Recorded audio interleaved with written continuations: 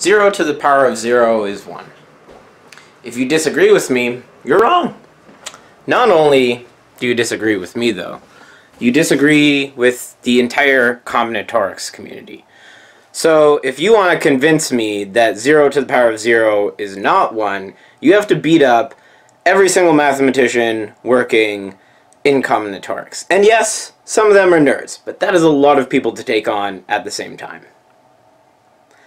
Another opinion on this, though, another take that one may have is uh, through set theory.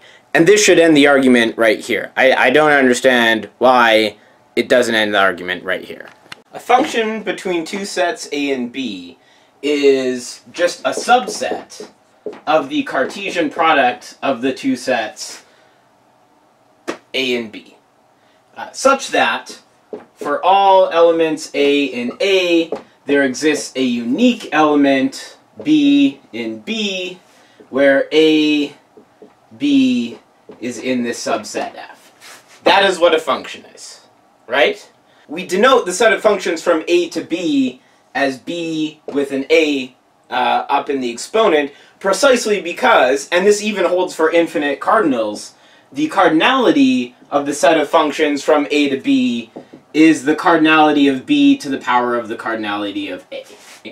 And so the cardinality of the functions from the empty set to the empty set is the cardinality of the empty set to the cardinality of the empty set. In other words, 0 to the power of 0. And so we can determine this value by determining what the cardinality of the set of functions from the empty set to the empty set is. Well, if we look up here, our A and B, these are both the empty set. The Cartesian product of the empty set is simply the empty set. And so the only subset of the empty set is the empty set itself. Ah, so there's one element, there's one function, uh, and then you should just check that for all elements of the empty set, well, now we don't even really need to think about this because this is vacuously true, there's no elements in the empty set. So there you go. 0 to the power of 0 is equal to 1. As I already mentioned, every combinatorist, combinatorist, combinatorialist takes 0 to the power of 0 to be equal to 1. So if you like counting things, if you believe in counting things, then you should believe that 0 to the power of 0 is equal to 1. The set theory proof should do it as well, because as we all know, the axioms of ZFC theory are the Ten Commandments of uh, the greatest religion there is.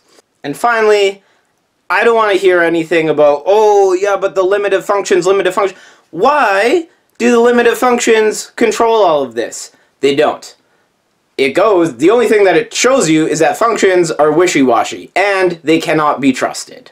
So, uh, the arguments that you can cook up functions, you know, where one tends to zero, the other tends to zero, but then, uh, you know, f to the power of g doesn't tend to one, uh, it's, it's wishy-washy, uh, no, no, doesn't hold. Also, basically every single programming language defines 0 to the power of 0 to be equal to 1, so if you're watching this on an electronic device, checkmate.